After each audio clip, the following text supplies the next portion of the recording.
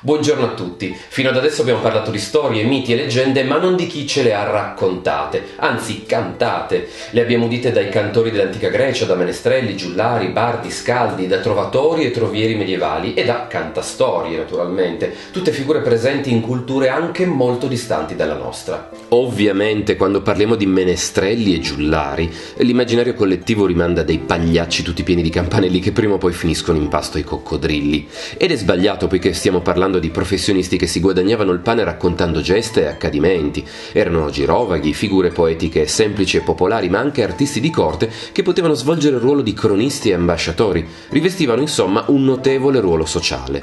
Se invece ci riferiamo a trovatori e trovieri, allora è tutt'altra cosa. Si tratta di poeti musicisti, spesso di origine altolocata, il cui componimenti hanno come tema comune l'amor cortese e che ebbero una notevole influenza su Dante e Petrarca. Ed è di un celebre trovatore che vi voglio parlare. Parlo del grande Réambou de Vaquerin, che insieme a Bertrand de Born, Père Vidal e Golsenfedi fu uno dei trovatori provenzali più insigni nella poesia e nella musica, vicini ai costumi delle corti del nord Italia, vale a dire le corti orbertenghe, alle ramiche, in particolare presso Bonifacio I di Monferrato. Un mecenate molto attento a coltivare la propria immagine di cavaliere indomito e senza macchia. Dopo essersi fatto le ossa presso i sovrani di Bo e alla corte dei Malaspina, Réambou de Vaquerin, che in alcuni testi citato come Raimbaldo di Vaquerasso, di castello in castello cantò le geste e le battaglie dei cavalieri fino ad arrivare, come appena detto, nel Monferrato presso Bonifacio I, che lo armerà cavaliere. Reambù infatti sapeva anche combattere, restò al fianco del marchese come scudiero, non solo come poeta, e i due diverranno inseparabili amici e compagni di numerose imprese cavalleresche,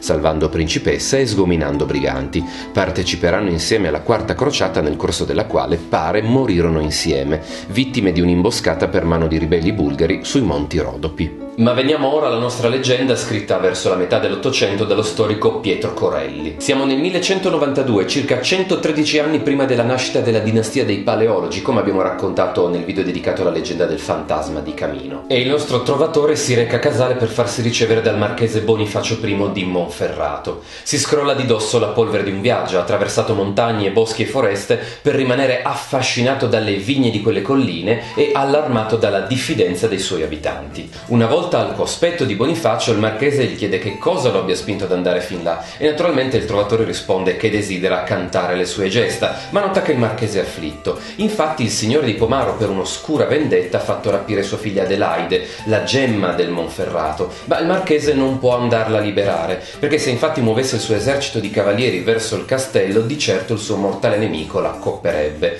Allora sentito questo il nostro Rambaldo decide seduta stante di andare a liberare Adelaide e parte parte da solo. Giunto a Pomaro, la signora del castello Garsende accetta di farlo suonare a corte. La sua esibizione lascia esterrefatto il padrone di casa che decide di omaggiarlo con un cavallo.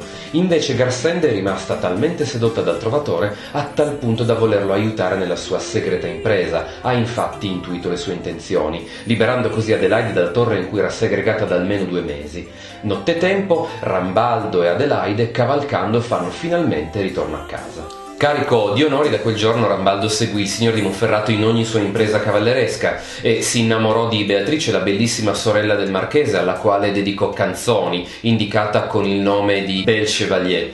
Eh, purtroppo l'epilogo non fu felice per Garsende, la quale pagò con la vita il suo gesto. Fu infatti strangolata dal marito. Bonifacio I, fondatore del Regno di Tessalonica, è dipinto come un grande feudatario, rappresentante dell'etica cavalleresca celebrata dai cantori di allora e non solo. Ne parla ad esempio Carducci nel suo Cavalleria e Umanesimo. Ma le antiche biografie sono da prendere con grande cautela. In quella dedicata a Rambaldo ci sono anche degli errori, ad esempio Adelaide o Alasia o Adelasia che dir si voglia, contessa di Saluzzo, non fu la figlia di Bonifacio I come a volte riportato in svariati testi, ma sua sorella. Inoltre la leggenda appena raccontata afferma che ella andò in sposa a Ruggero II di Sicilia, cosa impossibile perché vissuti in epoche differenti. Forse si sono confusi con Adelasia del Vasto, regina di Gerusalemme famosa per aver redatto nel 1109 il mandato di Adelasia e per aver portato i carmelitani in territorio italiano, che però fu madre di Ruggero II. Per il momento è tutto, ma torneremo presto a parlare di leggende monferrine. Grazie per l'ascolto e al prossimo video.